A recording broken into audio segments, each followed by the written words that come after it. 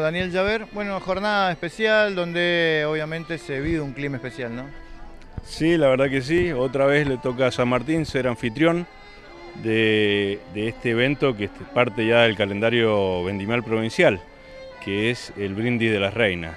Así que nosotros con mucho gusto en este hermoso lugar estamos recibiendo a todas las reinas departamentales previo al acto central de la vendimia. Marcando Bonarda a full, ¿no?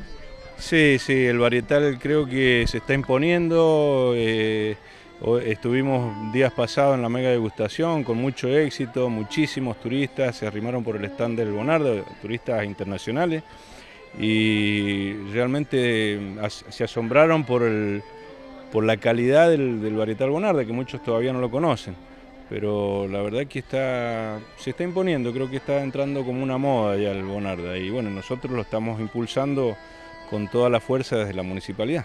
Un trabajo constante justamente esto, ¿no? La promoción y mostrar al mundo las variedades de Bonarda. Es así, creemos que es un trabajo lento, pero sin pausa y sin prisa, como, como se dice. Hay que ir, seguir trabajando con seriedad, como lo estamos haciendo, eh, no desaprovechando las oportunidades que se nos presentan en cada ocasión. Ahora incluso vamos a estar en, la Vía Blanca y en el Carrusel, eh, haciendo degustar a las autoridades el, Bonarda.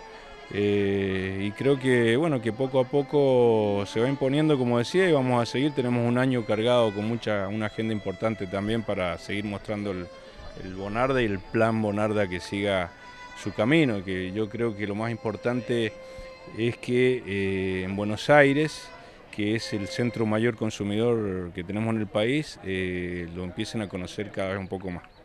Siempre dijiste que es una política de gobierno el Plan Bonarda. ¿Cómo va a continuar teniendo en cuenta que deja la presidencia del Consejo Deliberante?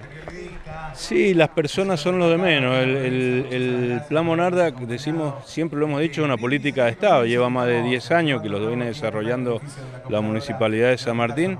En los últimos dos años tuve el honor de, presidir eh, este plan que me lo, otorgó el Intendente.